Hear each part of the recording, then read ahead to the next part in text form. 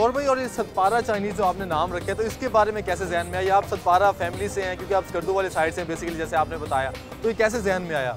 ये ये सतपारा इसलिए रखा है कि अली सतपारा हमारा कौमी हीरो है तो उसके नाम पे मैंने ये रखा ज़बरदस्त। मतलब कौमी हीरोज की पहचान करने वाले पहचान वाले करने की बहुत अच्छी बात है। व्यूअर्स हमारा सूप आ गया, हमारे पास तो उसका सूप ट्राई करते हैं। और क्योंकि सर्दियों का मौसम है, मेरे बिल्कुल साथ में यहाँ पे अल्फ्रेडो पास्ता इनका तैयार हो रहा है, जिसको देख के मुझे जो मेरी भूख में इजाफा हो गया। खैर, मैंने इतना जो सूप है, वो इसलिए पहले मंगवाया है ताकि जो भूख है ना, वो मजीद बढ़ाए। एपिटाइज़र के तौर पर क्योंकि सूप हम अमूमन यूज़ करते हैं तो पहले मैं सूप पीऊँ, उसके बाद भूख और लगे और फिर बस खाता जाऊँ खाता जाऊँ, क्योंकि खानों का टेस्ट ना बहुत मज़ेदार लग रहा है। सूप मेरा मेरे पास आ चुका है, जौहर भाई, आप भी अपना जो सूप है, वो अपने पास ले लें। ताकि दोनों मिल के ट्राई करते हैं कि सूप का टेस्ट कितना मुझे मज़ेदार यहाँ पे मिलता है, जो कि बहुत ही मज़ेदार सा लग रहा है। ऊपर जो इन्होंने गार्निशिंग की हुई है ना, वो की हुई है सब्ज प्याज की।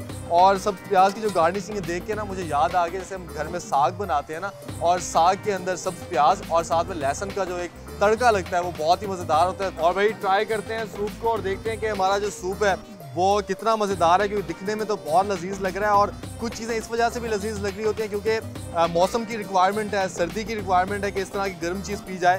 तो भाई सूप को करता हूँ ट्राई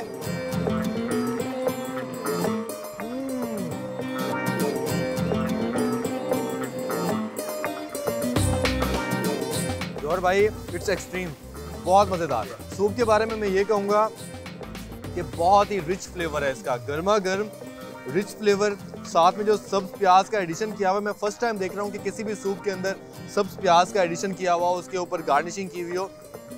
जो टेस्ट है, बहुत रिच है, बहुत मज़ेदार है, और जो फ्लेवर्स हैं, इतने सारे फ्लेवर मिल रहे हैं मुझे सूप के अंदर। काली मिर्चों का और डिफरेंट और चीज़ें जो इसके अंदर ऐड ऑन की हुई हैं चिकन साथ में।